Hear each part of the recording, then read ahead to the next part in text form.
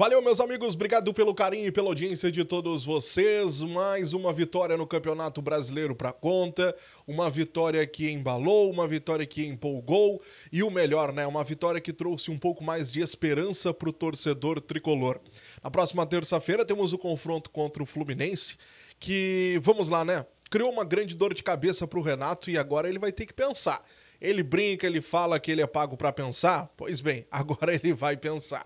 O Bright White ontem, o que ele fez em campo, senhores, olha, ele deixou aquela impressão que o torcedor queria, né? Ele deixou aquela. Ele deu aquela resposta que o torcedor aguardava desde a entrevista de apresentação dele. Quando ele veio para a entrevista falando que estava com fome de gols, que, fome, que uh, os gols eram o alimento dele, ele, como centroavante, precisava fazer gols, aquilo ali já deixou uma expectativa no torcedor, ó o cara tá querendo. E ontem ele mostrou isso. Os números dele na partida, gente, eles refletem muito de como o Bright White atua, de como ele jogou nessa estreia dele pelo Grêmio. Ele marcou dois gols, tá certo? Teve aquele, aquele, aquele gol que o Gustavinho faz, que foi né, a produção dele praticamente. Tem o, o gol contra, né, que a gurizada tá brincando que foi um hat-trick, enfim. Mas na prática, foram dois gols que ele acabou fazendo. Foram quatro finalizações corretas das cinco, tá? No gol. Primeiro no jogo, foi o que melhor finalizou. Nove duelos ganhos de 16. Nove duelos de 16. Primeiro na partida também, entre todos. Seis duelos de nove ele ganhou, duelos aéreos, tá? Primeiro no jogo também. E tá certo que tem o gol contra. Ele ficou com uma nota de 8.8 no SofaScore. Nisso não é nem um pouco surpresa para quem trabalha com Bright White desde a chegada dele nos bastidores. Muito elogiado, diz que é um cara muito querido, muito educado, diz que é um cara assim, de um trato refinado, diz que é um cara espetacular nos bastidores, nos no convívio, um cara muito organizado e um cara muito preocupado com a sua condição física.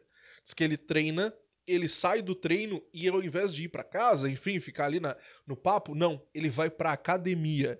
Ele sai do treino, vai para academia. Diz que até há momentos que o pessoal da preparação física tem que chegar e, ops, dá uma seguradinha aí, né, queridão? É, ei, ei, não vai dar certo assim. Calma, segura. Diz que ele é muito profissional. Isso a gente já tinha, né? Antes dele até assinar com o Grêmio, quando estava naquela especulação, nós já tínhamos essa informação, até porque ele tinha levado preparador para as férias, junto até da esposa dele e tudo mais. Enfim, isso chegou até ser capa de revista, essas revistas de fofoca. Enfim, mas não é o que a gente tem que entrar nesse momento aqui. O detalhe, é um cara que ele não surpreendeu quem estava trabalhando com ele, porque sabe que é um cara muito, mas muito profissional. Depois, na, na, na saída ali de campo, ele falou um pouco sobre a diferença do futebol. A diferença do futebol brasileiro para o futebol europeu. Afinal de contas, é a primeira experiência dele fora, fora do velho continente. E ele falou que aqui uh, o futebol ele, ele é mais técnico e ele é mais um, é mais lento, vamos dizer assim, do que na Europa. Na Europa é tudo muito rápido, é tudo muito intenso. Assim que tu pega a bola, tu já vai pro ataque. Tu tem que ser tudo muito ligeiro, tu tem que pensar muito rápido.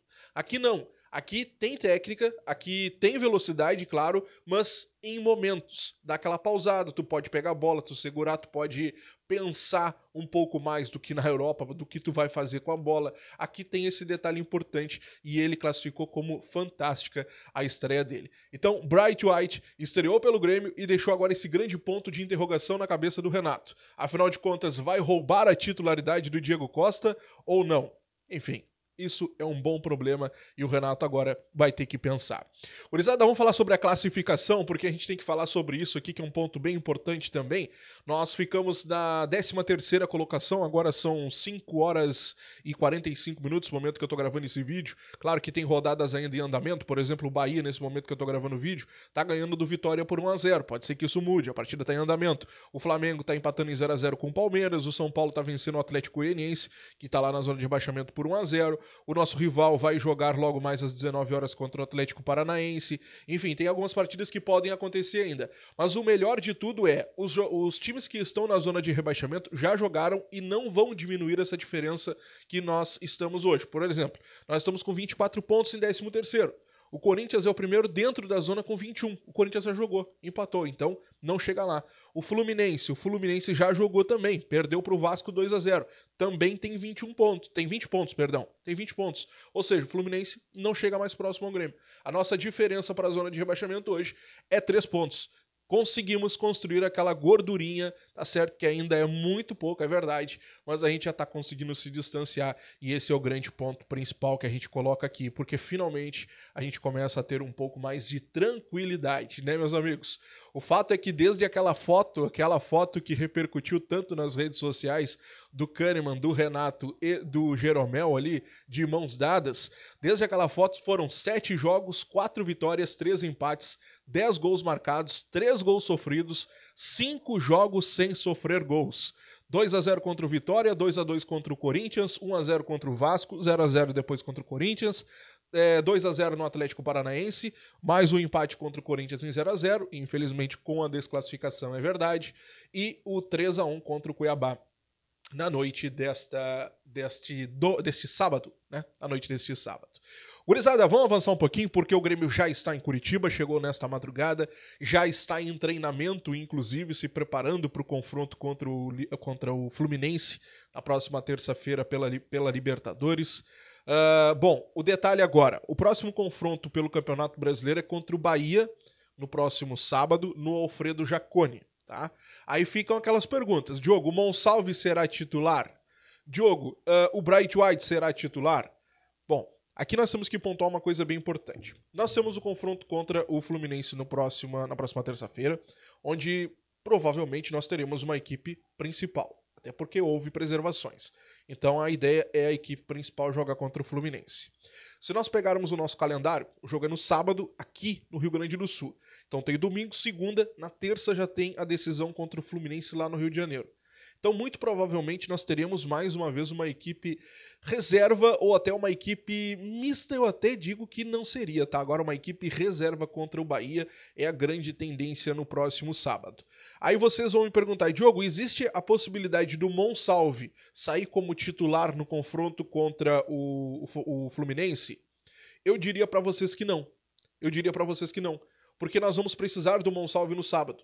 Eu acho que dificilmente o Renato colocaria, mudaria a forma de jogar já para a próxima terça-feira, queimando os dois meias. Então eu acredito que o Renato vai deixar o Monsalve ainda uh, na reserva, usar o Monsalve no próximo final de semana e agora na próxima terça o Cristaldo deve ser o titular. Aí vocês vão me perguntar, Diogo, mas existe essa possibilidade ali na frente? Eu acho que ela existe sim. Eu acho que existe sim. Até porque no ano passado, vocês lembram, nós fomos campeões do campeonato, do campeonato Gaúcho tendo três meias. Vocês lembram? Nós tínhamos o, o Vina, o Vina na época, nós tínhamos o Cristaldo e tínhamos o Bitelo. Né? Tá certo que o Bitelo muitas vezes era um jogador que fechava bem, voltava como um volante, mas eram três meias que eles mudavam muito de posição, né? Eles ficavam ali atrás do Soares e todo momento ali invertendo uh, as posições. Então eu acho que tem condições sim. Agora a ver como vai se formar isso aí, né? Poderíamos ter o Monsalve e o Cristal do Soteudo? Bom, Soteudo esse não sai do time, né? Esse não sai do time. A pergunta é se nós não perderíamos marcação no meio campo. Aí é outra situação que precisa ser analisada, mas a gente vai acompanhar ao longo dos jogos. Mas eu acredito que a gente possa, assim, ali na frente, por que não, testar Monsalve e Cristaldo na mesma, na mesma, no mesmo time, no caso. Bom, para o jogo da próxima terça-feira foram disponibilizados 34 mil ingressos lá no Couto Pereira, 12 mil já foram vendidos. O Grêmio atualizou agora há pouquinho, 12 mil ingressos vendidos até o momento. Para os próximo, próximos confrontos também tem um detalhe importante: nós não teremos Edenilson pelos próximos três jogos do Grêmio. Isso porque ele levou ontem o terceiro cartão amarelo, fica de fora do confronto contra o Bahia no final de semana no confronto de terça-feira e depois na terça-feira da outra semana, ele não pode jogar porque ele não foi inscrito na Copa Libertadores. Então, Edenilson fica fora dos próximos três confrontos do tricolor. Para nós encerrarmos, meus amigos, como a gente já adiantou e já falou aqui desde a, desde a sexta-feira, o Grêmio vai jogar sim no Alfredo Jacone, porque a arena não ficou à disposição por conta da situação do gramado. E ontem o Kaique falou um pouco sobre isso na zona mista. Ele disse que a direção conversou com os jogadores, mostrou inclusive vídeos, fotos, mostrando que a situação do gramado não tinha condições dos jogadores voltarem a atuar na arena neste primeiro momento. Diz que houve até um pouco de. Uh, os jogadores ficaram meio assim, até chegaram a insistir na possibilidade de voltar e tal, só que a direção bateu o pé, até porque existe sim uma grande, uma grande possibilidade dos jogadores acabarem lesionando, porque o gramado ainda tem muita areia, ainda uh, não é um gramado próprio para o futebol de alta intensidade e tudo mais. Então a direção bateu o pé até pela segurança dos jogadores, embora uns ou outros gostariam de ter voltado mesmo nessa condição.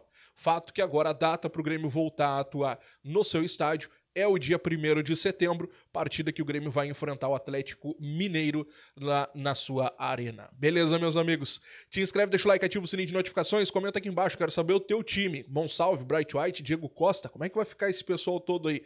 Tem como arrumar todo mundo nesse time? Quem sai? Quero saber. Esse é o ponto agora também. Quem sai? Comenta aqui embaixo. Quero saber o teu time ideal pro tricolor agora. Grande abraço, até a próxima. Tchau.